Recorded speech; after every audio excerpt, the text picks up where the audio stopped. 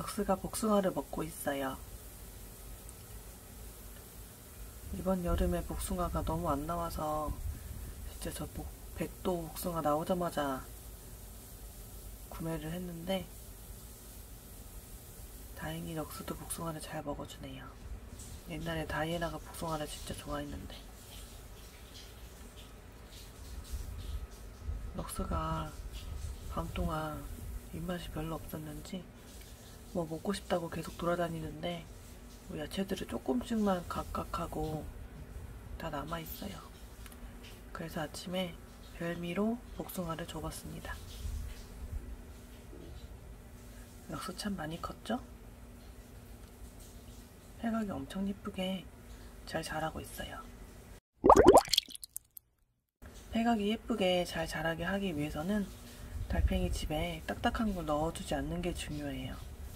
물론 달팽이를 잡거나 성장선을 이렇게 다치게 하거나 그러지 않는 것도 중요한데 그런 건 당연한 거고 그래서 저는 럭스 집에서 안 꺼내고 그냥 집 안에 있기만 하거든요.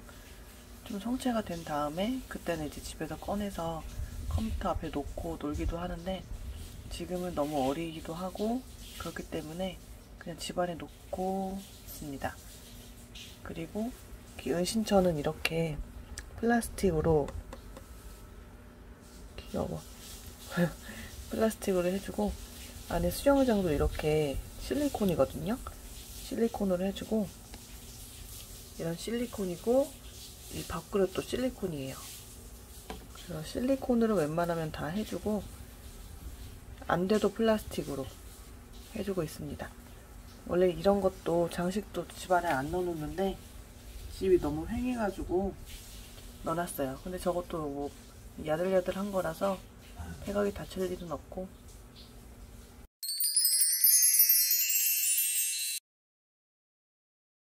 뭐 집 안에 돌이라든가 돌이 아니더라도 어, 다른 것들 뭐 있잖아요.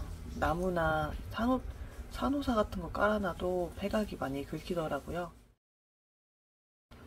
뭐 나이 들었을 때 폐각이 긁히는 거는 당연하다고 생각하긴 하는데 아직 어렸을 때는 좀 더 폐각을 이쁘게 키우고 싶은 그런 욕심이 있어서 지금 이렇게 실리콘 실리콘으로 럭스를 키우고 있습니다.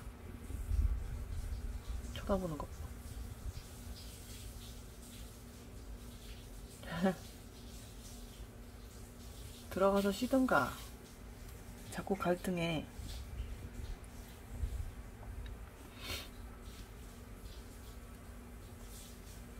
그리고 지금 이 럭스 집 이쪽 왼쪽으로 이쪽 이쪽 왼쪽으로 선풍기를 틀어놨는데 그래서 이렇게 집으로 한 번 막아놨어요. 바람이 오면은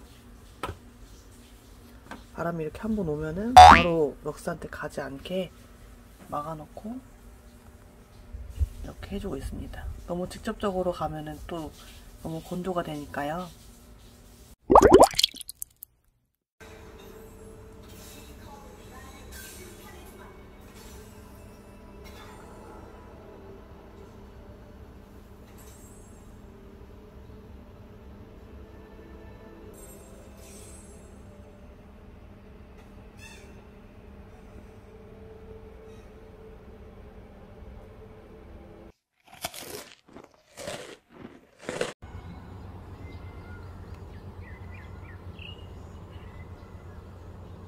어떻게 무서워.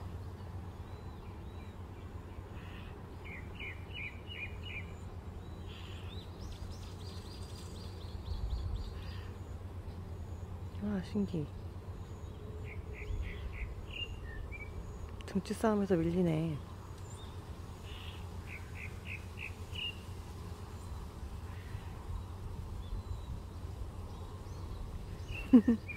쫓겨났어. 어머, 쟤네 왜 싸워?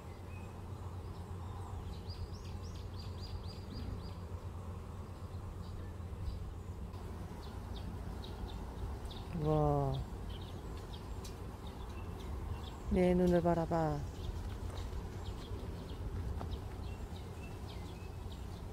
하이.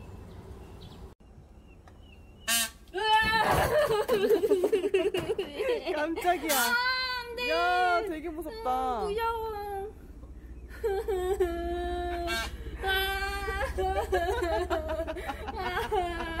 야, 근데 쟤 울음소리 너무 매치 안 돼. 좀 풍선에서 나는 소리 같아.